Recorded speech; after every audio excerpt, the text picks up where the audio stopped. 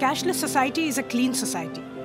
Cashless society is a simple and progressive society. When we talk about cashless transactions, we necessarily think about paying a huge hotel bill or shopping at a department store using a credit or debit card, right?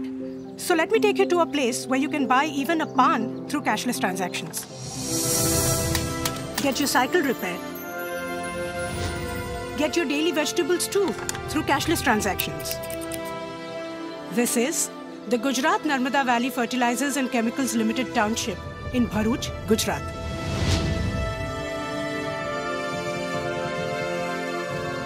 It boasts of a thousand houses with a population of 4,500 people.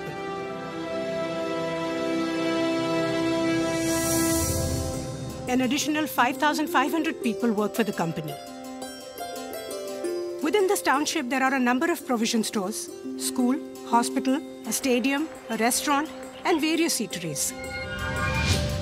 When the Honorable Prime Minister gave a clarion call to the nation to adopt cashless transactions, the people at GNFC Township decided to go cashless. As a result, the dry cleaners' bills are paid through POS machines. The hospital slip is made through e wallet only. Even a cup of tea in this township is purchased with credit or debit card. School fees are also not deposited in cash anymore.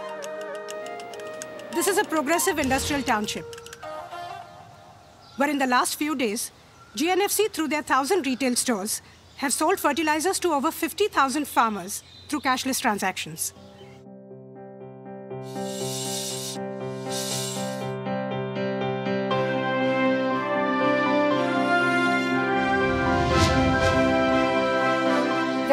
180 such industrial townships with a population of over 5 lakhs in the state of Gujarat alone. Pan India, the number of such companies and townships run into thousands. GNFC has set an example for others to follow. With just a little determination, some hard work, and an effective management, the country can have many such townships, which will prove to be a guiding light for the big cities to go cashless.